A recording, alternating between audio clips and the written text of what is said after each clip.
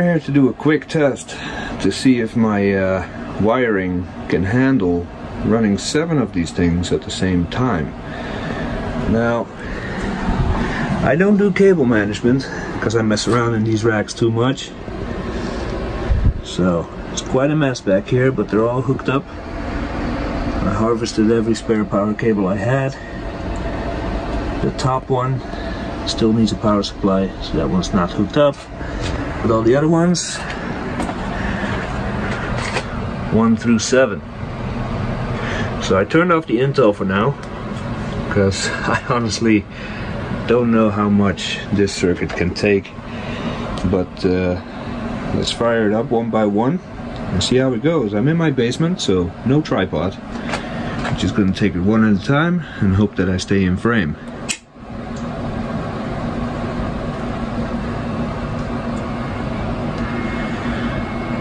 I'm gonna give each Xserve about a minute to boot up before I start the next one.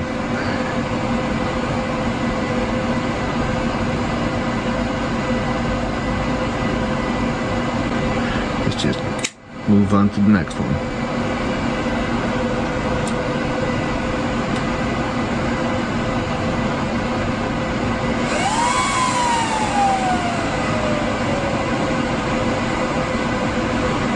I pre-configured numbers 2 through 7 but I don't think I finished up the first one so I might have to hook up a display and configure this before it'll be visible on the network.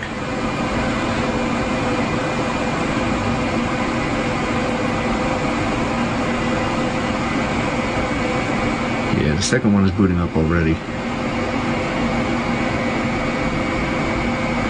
Alright, number three.